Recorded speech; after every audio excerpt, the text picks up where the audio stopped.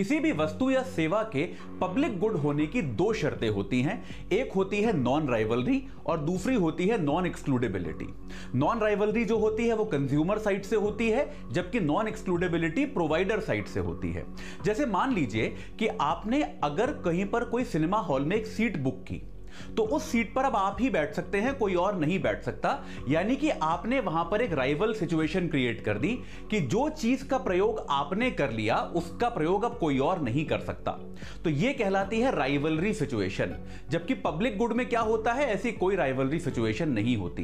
Provider side पे एक non excludability का मतलब क्या है? कि प्रोवाइडर जो है, इस सेवा को जो आदमी आपको प्रदान कर रहा है, वो कभी भी इस तरह की कोई सीमा नहीं बना सकता कि केवल इन्हीं लोगों को इस सर्व इस सेवा का फ़ायदा होगा और बाकी लोगों को फ़ायदा नहीं होगा। तो प्योर पब्लिक गुड का एक उदाहरण है राष्ट्रीय सुरक्षा या फिर नेशनल डिफेंस।